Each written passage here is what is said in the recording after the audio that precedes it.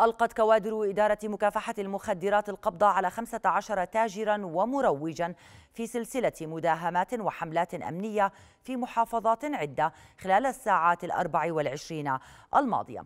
ففي العقبة داهمت قوة أمنية مشتركة أربعة مواقع بالتزامن وألقت القبض على خمسة أشخاص منهم اثنان خطران بعد أن قاوموا القوة الأمنية.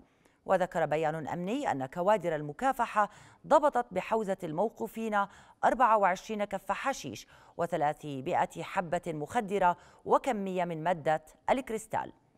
وفي الزرقاء ضبط بحوزة أحد تجار المخدرات عشرة كفوف حشيش وألفا حبة مخدرة.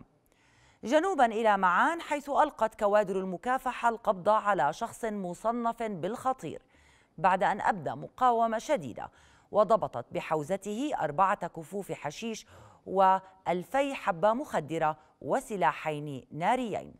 وداهمت وحدة مكافحة المخدرات في المفرق تاجرا داخل مركبته أثناء نقله لكمية من المواد المخدرة من أجل بيعها. وضبط بحوزته أحد عشر كف حشيش وأربعة آلاف حبة مخدرة. كما داهمت مطلوبا بحقه عشرين طلبا أمنيا ومصنف بالخطر في عجلون. إذ ألقي القبض عليه وضبطت بحوزته كمية من المواد المخدرة المعدة للبيع.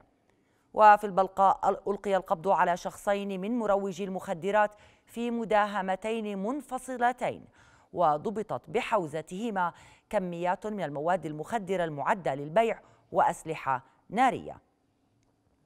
وألقي القبض على مروج للمخدرات في لواء الرمثة بعد مداهمته وضبطت بحوزته كمية من مادة الكريستال المخدرة.